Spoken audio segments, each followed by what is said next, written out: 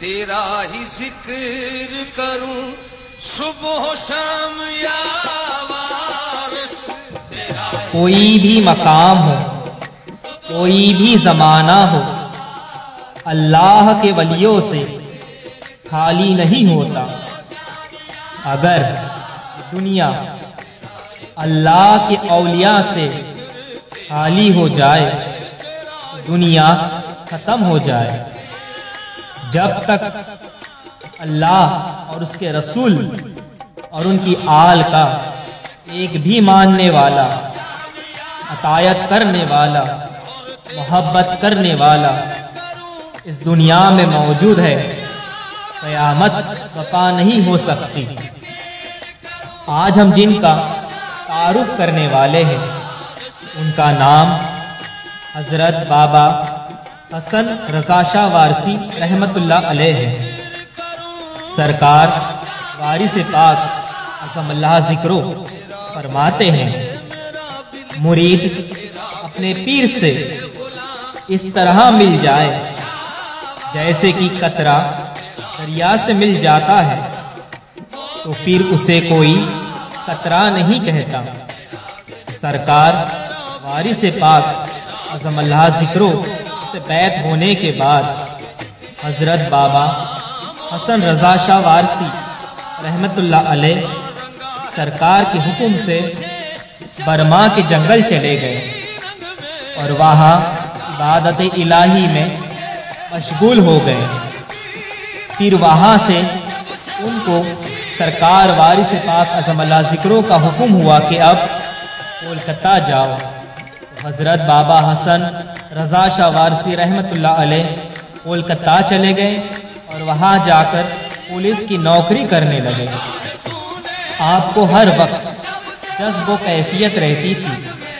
اس لیے سب آپ کو پاگل بابا کہہ کر پکارا کرتے تھے۔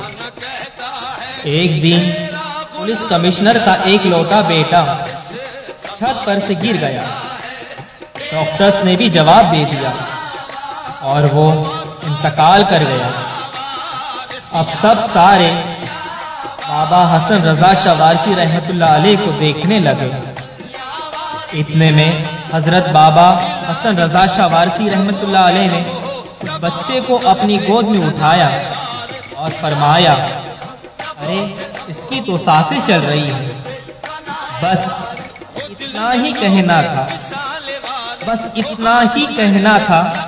کہ وہ بچہ اللہ کے حکم سے زندہ ہو گیا۔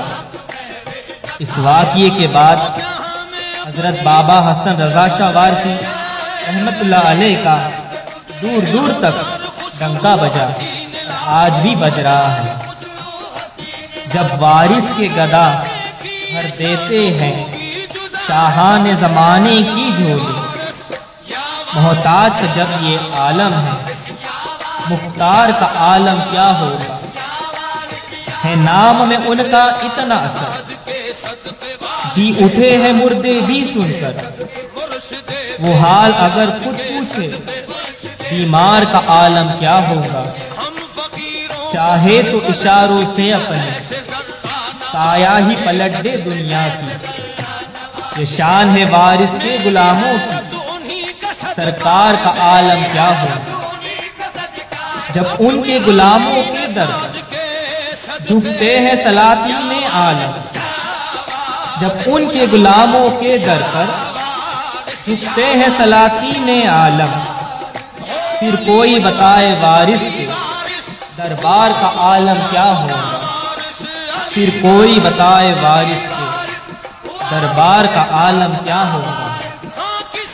آپ نے اپنی حیات زندگی میں لوگوں کو محبت کا درس دیا اور بنگال میں لیگ کا کام انجام دیا۔ آپ کا مزار شریف آج بھی کولکتہ کی سرزمین پر فیضان باسی سے لبریز مل جائے، لائق ہے۔